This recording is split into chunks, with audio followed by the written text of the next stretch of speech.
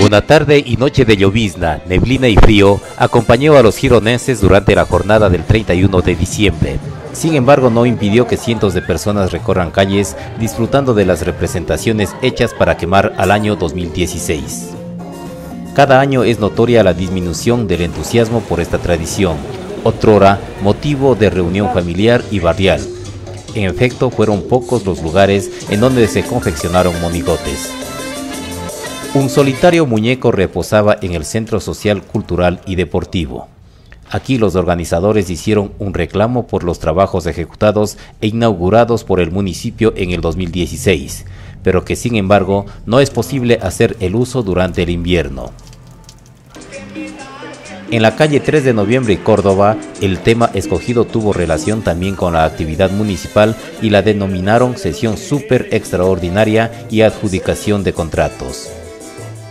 Igual dirección tuvo la representación mostrada en la calle Calderón entre Arturo Sández y Antonio Flor, cuyos años viejos fueron titulados como la degeneración urbana de Girón, en alusión a los acontecimientos de los últimos meses del 2016 en torno a los trabajos de arreglo de calles. Después de una tarde deportiva, en el barrio industrial solitario permanecía el monigote, aquí representaron una escena de los jubilados. La famosa ex jueza de Guayaquil y su tan referida sentencia ¿Quieres probar mi poder? fue el blanco en la calle García Moreno y 3 de noviembre en Cavalicores. Metros más arriba, monigotes representaban al presidente de la República y la opinión sobre la situación del país. En la García Moreno y Bolívar, otra representación mostraba la acogida de la fiesta del Señor de Girón y el tradicional intercambio de botellas. Y en esta misma calle, el barrio 26 de marzo organizó un show artístico que atrajo a muchas personas y representó con los monigotes una crítica hacia el municipio por la falta de apoyo a estas actividades culturales que van muriendo en nuestro cantón.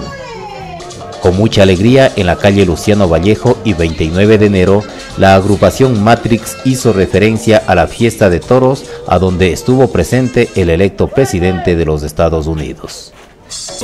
Así se vivió la jornada de años viejos en Girón, y como es de esperarse, todos quemaron las malas vibras del 2016 y con mucho entusiasmo, ansias, alegría y optimismo dieron la bienvenida al 2017.